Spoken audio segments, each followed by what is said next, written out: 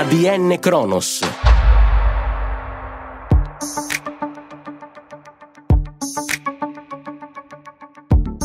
Aggiungi contatto, il podcast di ADN Kronos che racconta ogni mattina chi è il personaggio del giorno.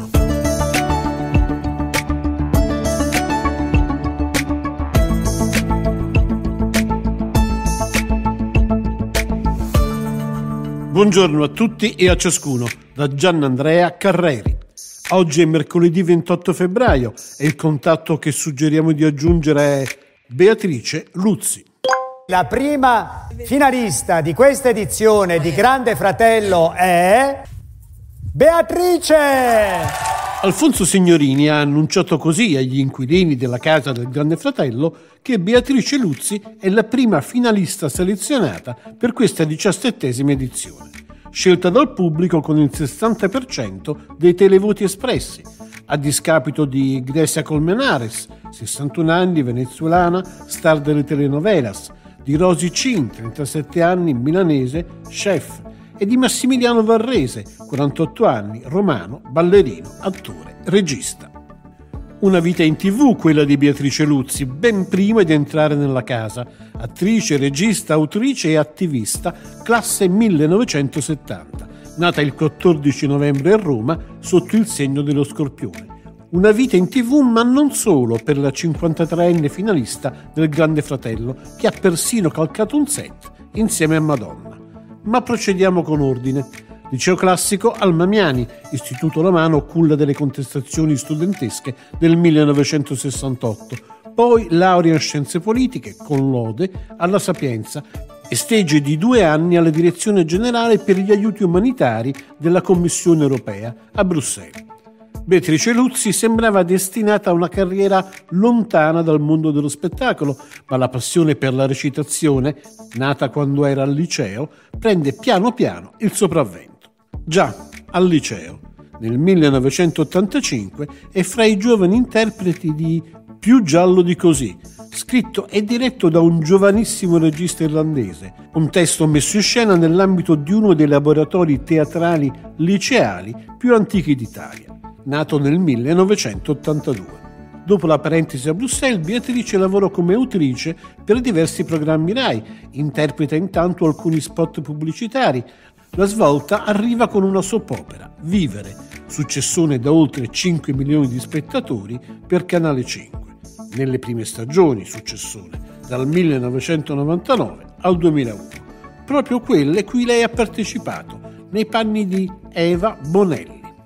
Il personaggio di Eva sembra cucito addosso all'attrice, una donna forte, moderna, disinibita, che impatta con forza sul pubblico del daytime, quello che guarda la tv a cavallo dell'ora di pranzo.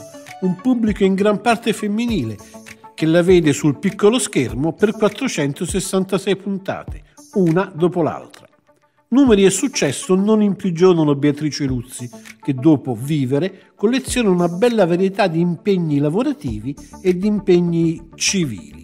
Il più titolato, ma in fondo anche il più deludente, è la condivisione con Madonna, proprio lei, del set di Travolti dal Destino, remake firmato dal pure efficace Guy Ricci nel 2002 di Travolti da un insolito destino nell'azzurro mare di agosto. Commedia agra, l'originale di Lina Vermüller del 1974, con Mariangela Menato e Giancarlo Giannini, protagonisti di un'assolata lotta di classe in salsa erotica su un'isola deserta. Rifacimento insipido quello del 2001 con Madonna al posto della Melato e Adriano Giannini al posto del suo papà. Il remake incassa ben 5 Razzie Awards, praticamente il contrario dei premi Oscar, ovvero peggior film, peggior attrice protagonista, Madonna, peggior regista, peggior coppia, Madonna e Giannini Junior, peggior remake. Per sua fortuna Beatrice Luzzi ha una particina ina ina, quella di una donna ricca del tutto marginale nella vicenda. Piccolissimo ruolo, piccolissimo coinvolgimento nel flop, anche al botteghino del film. A proposito di star internazionali, a Beatrice Luzzi è attribuito un flirt nel 2004 con il collega attore Gerard Butler. In carriera altri tre i film, una quindicina le produzioni televisive, fra singoli episodi e partecipazioni più durevoli, con titoli di primo piano come Il maresciallo Rocca, Don Matteo, I Cisaroni, Rex, Un posto al sole. Ma il primo amore non si scorda mai e lei il teatro non lo ha scordato. Dal 2000 in avanti si misura con classici e testi suoi, spesso firmando anche la regia.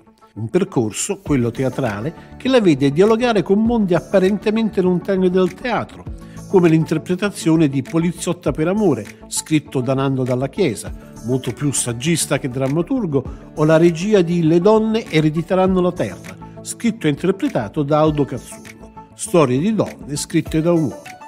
Il teatro come impegno, insomma, e del resto lei l'impegno sociale e politico lo declina anche direttamente. Dal 2007 con Libera, associazioni nomi e numeri contro le mafie, presieduta da Don Luigi Ciotti. Nel 2011, dopo molto altro, sostenitrice della campagna referendaria d'Italia dei Valori contro privatizzazione dell'acqua, ripristino del nucleare, legge sul legittimo impedimento. Passioni civili. Poco si sa invece delle sue passioni private.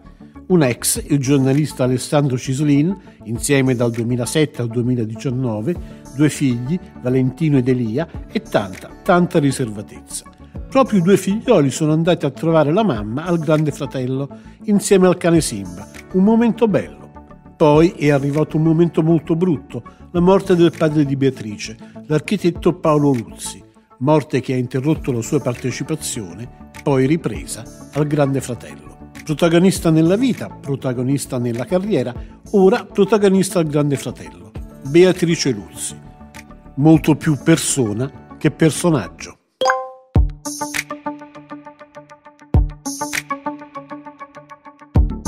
Aggiungi contatto, il podcast di ADN Kronos che racconta ogni mattina chi è il personaggio del giorno.